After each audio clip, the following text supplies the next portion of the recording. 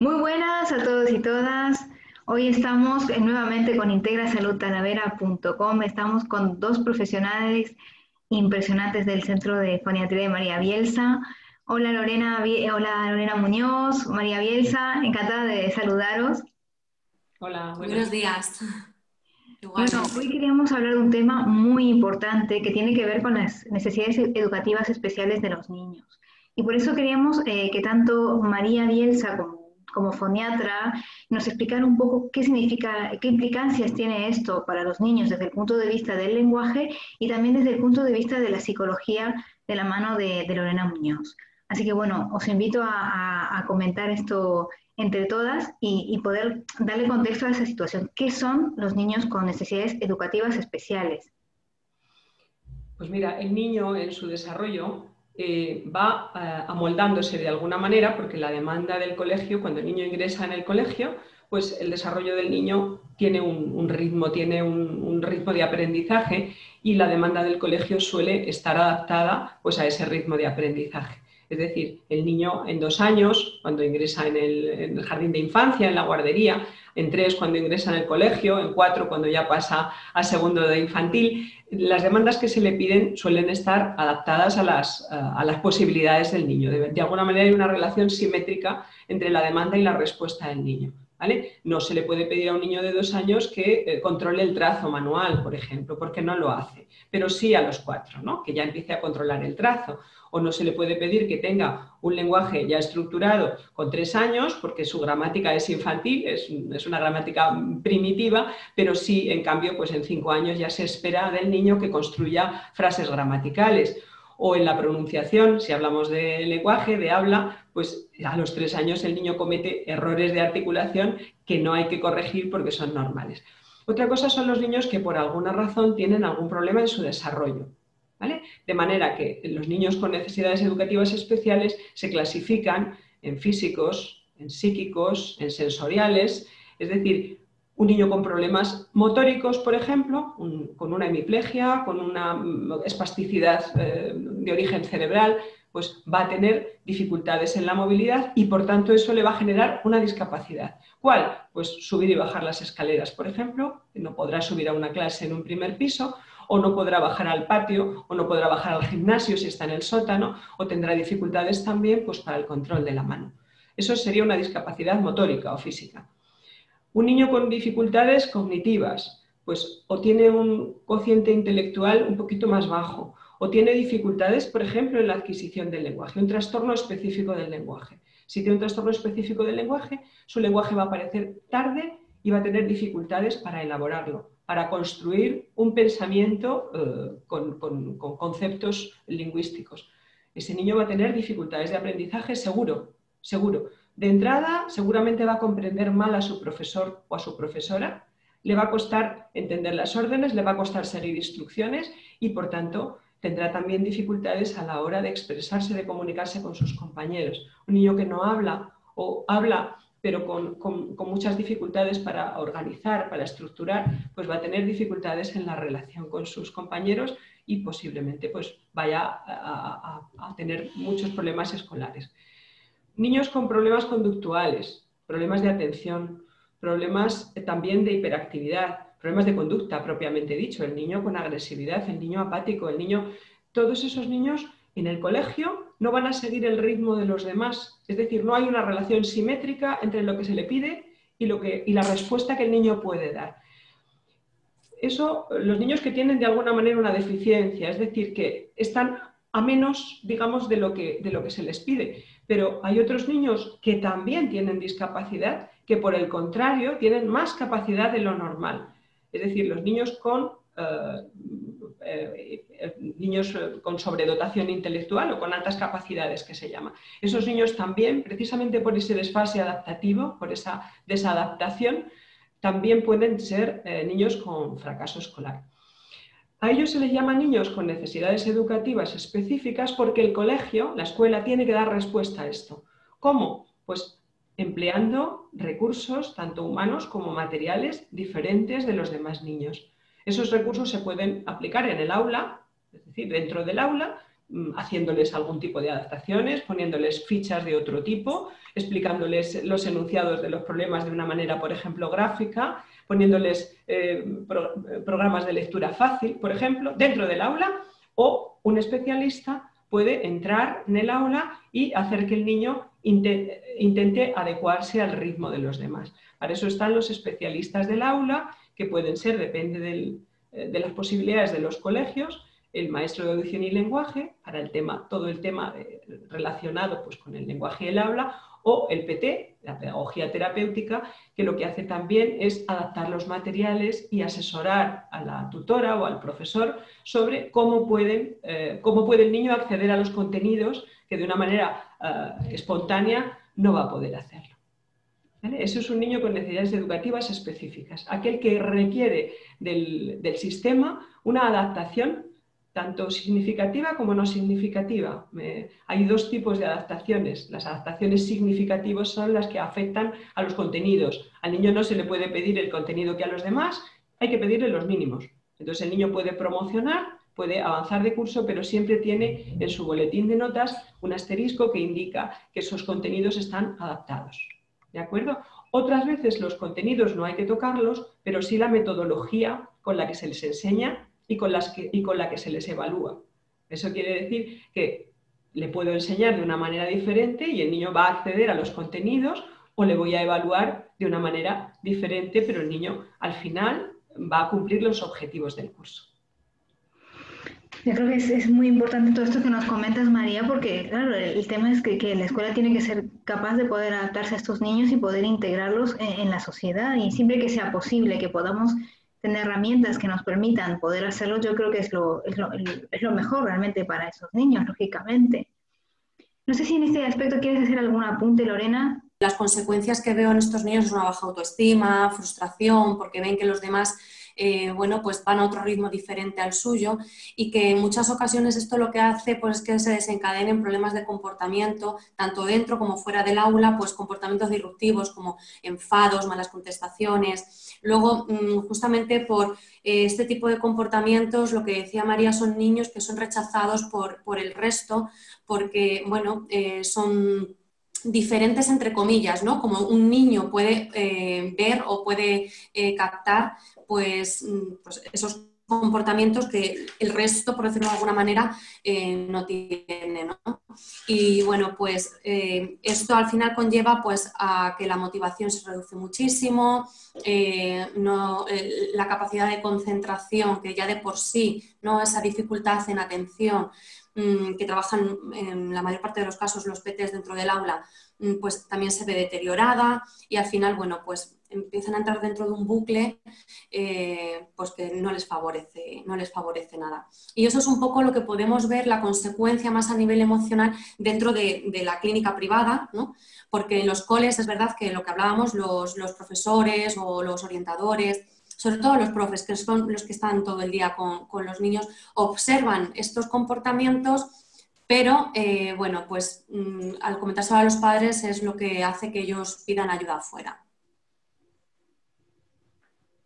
Además, también eh, las funciones ejecutivas, no debemos de, olvidarnos porque esto es un área muy importante, no solamente es la atención o es el tema de mm, a nivel educativo, a nivel de currículum escolar, sino que también estos niños en muchas ocasiones tienen muchas dificultades para planificar, organizar y, tener esa y, tienen una rigidez cognitiva muy elevada. Esto también hace que todo ese tipo de conductas se precipiten y, se den con mayor Em, probabilidad. Mm, por eso, por ejemplo, cuando hablamos de las adaptaciones, bueno, pues son niños, por ejemplo, eh, como decía María, con trastornos específicos del lenguaje, ¿no? que son niños que, dependiendo el grado eh, dentro de este trastorno, pues tienen más dificultad para poder eh, pues, planificar su conducta, prestar atención a determinadas cosas que a lo mejor mm, por esa falta de comprensión o no les eh, produce tanto interés. Entonces, todo esto tenemos que tenerlo muy en cuenta.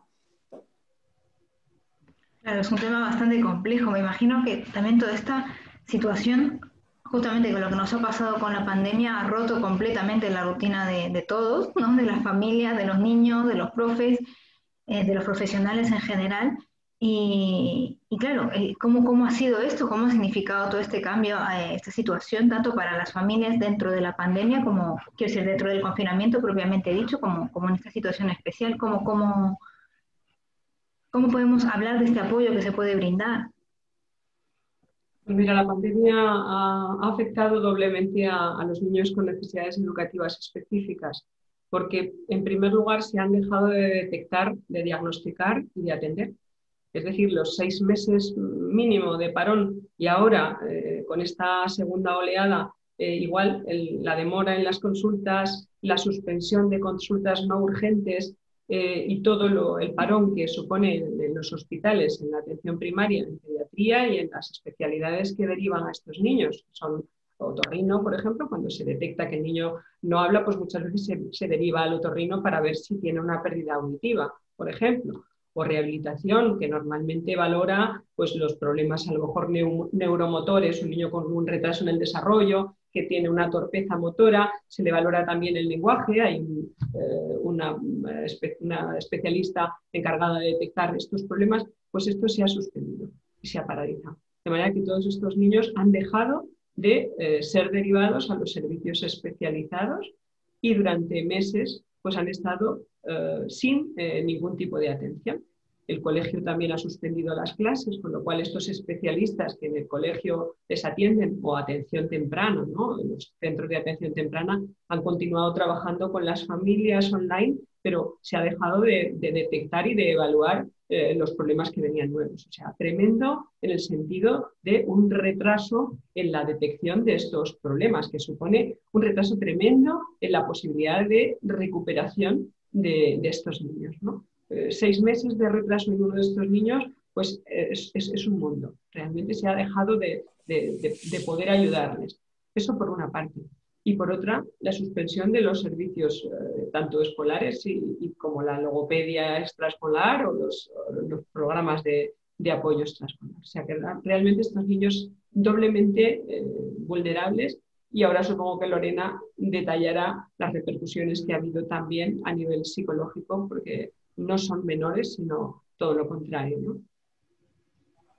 Efectivamente, yo creo que es muy importante mm, el parón del que está hablando la doctora eh, en el sentido, pues esa eh, pues sospecha, ¿no? El que se pueda derivar a un especialista, mm, porque es un retraso Mm, a lo mejor muy leve en algunos casos, pero en otros casos con mayor importancia en el desarrollo cognitivo del niño, porque están privados a lo mejor pues, de esa estimulación o de ese trabajo de, manera más directa. Es verdad que los centros, los centros de atención temprana han seguido trabajando ¿no? a través de videollamadas, han seguido atendiendo a las familias y en ningún caso se ha dejado de, de fomentar esa estimulación, tanto a nivel de, bueno, en cualquiera de las áreas del desarrollo.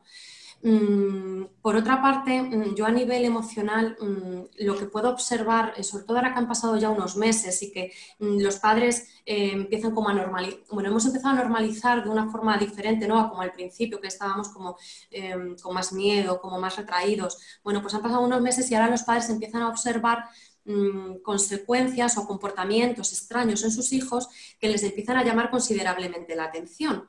Mm, entonces, eh, en los niños con necesidades educativas específicas, al final mm, se doblega esas consecuencias justamente por lo que estábamos hablando anteriormente. Son niños que en muchas ocasiones les cuesta eh, comprender pues, por ejemplo, un, trastorno del espectro autista o, por ejemplo, un TEL, ¿no? Eh, cuando están, el nivel de mm, dificultad más elevado, son niños que tienen una marcada rutina que se ha visto rota de, golpe y porrazo sin poder de ninguna manera eh, pues, mm, pues eso, explicarles o ponerles en antecedentes del por qué, ¿no? Simplemente se ha cortado. Entonces, para, pues por ejemplo, para estos niños se puede haber, eh, puede haber derivado una mayor hipersensibilidad, en una mayor alteración del comportamiento, en rabietas, que son eh, consecuencias que al final eh, seguramente que muchas de las familias han podido ver durante todo este periodo de tiempo, pero en estos niños pues se incrementa o es de forma más Además, eh, también hay niños, pues por esta falta mejor de, comprensión o de capacidad pues, eh, de poder entender en muchas ocasiones las cosas tal y como nos las, nos las plantean, mm, pues han desarrollado muchísimos miedos, alteraciones en el sueño, han, han, comenzado a aparecer pesadillas o terrores nocturnos que hasta este momento no, no, no había. Además, eh, la falta de concentración. Debemos de entender que son niños, lo que hablábamos antes, con una rutina muy detallada y, con una planificación en su día a día eh, pues, eh, muy estricta o muy, mm, pues eso, muy rutinaria. Entonces, al final, estos niños de pronto Mm, eh, han dejado pues, de, asistir al cole, de tener sus terapias, de tener sus intervenciones y queramos o no, aunque los papás hayan podido seguir trabajando con ellos desde casa, todo esto ha favorecido, eh, por desgracia, a que ese nivel de concentración o ahora la vuelta al cole, por ejemplo, les cueste muchísimo más que a lo mejor a otro niño sin estas necesidades. Entonces, debemos de estar eh, muy atentos porque, y a lo mejor el, nivel de exigencia rebajarle para que tampoco eh, los frustremos en exceso, porque eso es otra de las consecuencias. Ahora volvemos al colegio y vemos que no em, tenemos la misma em, espontaneidad o la misma facilidad ¿no? dentro de, para hacer frente a esas tareas que, nos van proponiendo. Entonces debemos de mm, tener mucho cuidado porque la frustración pues, puede llevar, volvemos a lo mismo, a esa irritabilidad, a esa hipersensibilidad, a la autoestima del propio niño, cómo se ve en, consideración al resto de sus compañeros. También hemos podido ver un estado de ánimo triste, ¿no? apatía. ¿Por qué? Pues porque al final esa sobreinformación que mm, sin querer eh, todo el mundo hemos estado expuestos, estos niños pues mm, lo han podido, em, una y dos, o no entender y no ser em, conscientes de la importancia de la situación y nos podemos ir al otro extremo. Lo han podido entender mm, demasiado al pie de la letra y, esto les ha generado muchos miedos, como por ejemplo salir a la calle, ¿no? Y para ello pues podemos utilizar mm, cuando son por falta a lo mejor de comprensión o pues podemos utilizar algún tipo de apoyo a nivel visual, como decía antes la doctora, pues a lo mejor hacer uso de, pictogramas o de algún vídeo mm, para poderles explicar y que también vaya disminuyendo ese miedo. Porque hoy en día cuando vamos a, los coles, ¿no? pues vemos que casi todos los niños han ido adaptando, lo han normalizado, porque al final, bueno, pero mm, no debemos de olvidar que hay un alto porcentaje pues que para ellos es una situación que todavía les cuesta adaptarse y que hasta que no estemos bien entrados en la rutina, probablemente mm, no van a llegar a, esa adaptación ¿no? o a esa em, normalización. Y en este caso, ¿cuáles son, ¿cuáles son las recomendaciones? ¿Qué podemos hacer para, para facilitar todo este proceso o por lo menos para que las consecuencias no sean tan complicadas? A ver, eh, yo creo que es muy importante para estos niños pues, que eh, necesitan esta rutina, ¿no? Es eh, volver a planificarlo todo, utilizar algún apoyo visual para que ellos también puedan saber en cada momento qué es lo que tienen y qué es lo que no tienen que hacer o qué es lo que va a ocurrir a continuación. Por ejemplo, me he levantado, a continuación tengo que desayunar o después voy a ir al cole, no sé, bueno, pues planificarles que ellos vuelvan otra vez a, saber qué es lo que tienen y qué es lo que no tienen que hacer. ¿no? Mm, es muy importante que les mostremos una actitud positiva sin volcarles nuestra angustia, aunque podamos tenerla en un determinado momento, porque al final eh, les estamos generando otra vez muchísimos miedos. Entonces es importante mostrar una actitud eh, positiva y hablar de emociones. Para mí es muy importante buscar un momento en el día en el que podamos compartir en familia cómo nos hemos sentido a lo largo del día y no juzgar nunca esas emociones como buenas o como malas sino que son emociones tenemos, las tenemos que aceptar y tenemos que mm, eh, respetar lo que uno pueda sentir, no minusvalorar ni tampoco maximizar. Además, eh, esto eh, va a ser muy importante para que el niño sepa que en cualquier momento puedo expresar a mi padre o a mi madre cómo me he sentido. Si me he sentido, por ejemplo, mal, pues enseñarle algún truquillo para que pueda disminuir ese nivel de angustia o qué hacer en cada situación. Em, además, eh, podemos hacer uso de los cuentos cuando son niños pequeños para mm, que puedan expresar y que puedan mm, eh, pues, contar a los papás, por ejemplo, pues yo me he sentido hoy eh, alegre o he sentido miedo pues porque no lo sé. Además hay que reforzarles mucho el uso responsable de todo lo que es las mascarillas, los geles, bueno, todo lo que es las medidas de seguridad que se están adoptando, porque mm, hay muchos papás que a lo mejor están más mm, proyectando esa angustia por no te toques la mascarilla, hay que reforzarles todo eso positivo que hacen para que no, y no prestar atención en que en un momento determinado puedan equivocarse o no, ¿no? Y mm, por, último, sobre todo yo creo que es mostrar interés en su día a día y sobre todo observar que en un momento determinado, si ven una actitud, pues eso, mm, de un miedo excesivo, porque miedo, eh, rabia, o podemos tener todos en un momento determinado de nuestras vidas o del día, pero si vemos que esas reacciones o esas... Mm, pues si esas reacciones eh, son eh, recurrentes o persistentes en el tiempo, deberíamos de buscar ayuda a un profesional para poder eh, poner medios ¿no? y aprender a gestionar. No tanto a lo mejor el niño, sino también mucho a través de la familia, porque también podemos ver niños muy chiquititos que ya tienen estas, estas consecuencias a nivel emocional o comportamental. María, ¿quieres comentarnos también desde tu punto de vista?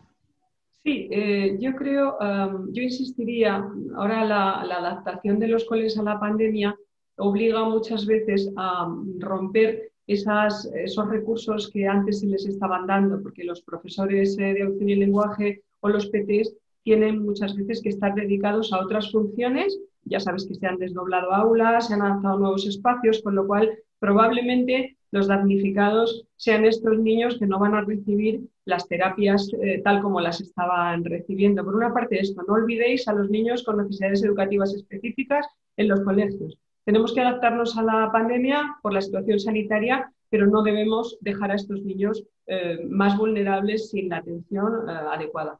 Y luego eh, que sepáis que hay también becas del Ministerio de Educación que están justamente orientadas a estos niños, o sea, a proporcionar los recursos tanto de logopedia como de pedagogía terapéutica para los niños que en el colegio no lo pueden recibir o en el colegio consideran que es insuficiente los recursos que tienen. De manera que eh, estas ayudas eh, que salen ahora en el mes de septiembre y terminan ahora los plazos, están justamente para eso, para que las familias eh, de niños con necesidades educativas específicas puedan solicitar una ayuda externa y estos niños puedan recibir los apoyos que, requieren pues, para normalizar su, su funcionamiento escolar, para intentar adaptar.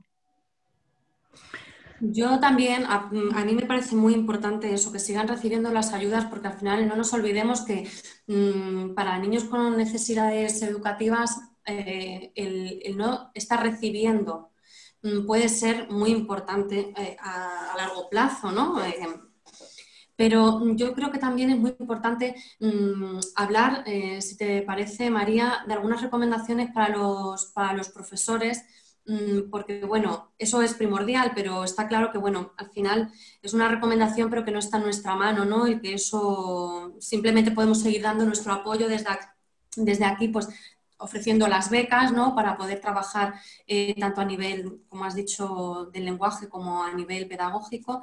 Pero yo creo que es muy importante también, al igual que hablábamos de los papás, que intenten eh, no... Mm, sobreinformar a los niños o que eh, la angustia que ellos puedan sentir en un momento determinado no se la transmitan. También debemos, yo creo, ponernos en, ese papel del profesor que de pronto se ha visto en el aula con tantísimos niños, ¿no? Cuando, y muchos, los chiquititos, por ejemplo, incluso sin, ningún tipo de protección, pues por eso, porque son pequeños y, es, mm, no es recomendable. Mm, yo creo que es importante que mm, los profes igual intenten eh, no transmitir en ningún momento esa angustia que en un momento determinado pueden tener, sobre todo seguramente a principio de curso y sobre todo cuando son niños muy chiquititos que se te acercan o te echan los brazos a lo mejor para que en un momento determinado les puedas coger. También a lo mejor el tema de las normas Mm, yo creo que es muy importante que se lo expliquen en un lenguaje sencillo. Incluso pueden utilizar algún juego para eh, que los niños puedan interiorizarlo mejor. Y en el caso de que alguno se salte alguna de las normas, porque eso seguro que va a ocurrir, porque al final es mucha información y, los pequeños pues, piensan en jugar, en compartir, a repasar las normas, mm, tanto para ese niño o niña que mm, se le ha olvidado y que se le ha saltado a la torera, y también al mismo tiempo nos sirve para repasar a los demás, no haciendo diferente no a ese niño por el hecho de que se le haya eh, olvidado se la haya saltado. Además debemos de tener mucha paciencia, tanto los padres, ¿no? cuando vengan los niños a casa pues, con los deberes, como los profesores y los especialistas dentro del aula, porque son niños que han tenido un parón grande y que ahora les va a costar volver a reiniciar esa rutina y a, mm, ponerse al día en todos los conocimientos y en todo lo que tengan que hacer en ese determinado momento. Pues os, agradezco muchísimo la introducción a este tema. Creo que es eh, muy importante que podamos visibilizar este tipo de situaciones en las que nos encontramos con niños con, eh, necesidades educativas específicas, el poder brindar nuestro apoyo desde aquí, desde la psicología, desde la foniatría y la logopedia, creo que es fundamental. Que se, sepa que hay puntos de apoyo, que podemos seguir trabajando, que hay formas de hacerlo mejor, trabajando siempre de forma colaborativa, ¿no? Y al fin y al cabo el, apoyarnos de forma profesional entre las personas que saben más que nosotros, creo que es, es, es fundamental. Así que os agradezco infinitamente siempre por, por, formar parte de este equipo maravilloso que es Integra Salud Talavera y por aportarnos tanta sabiduría siempre.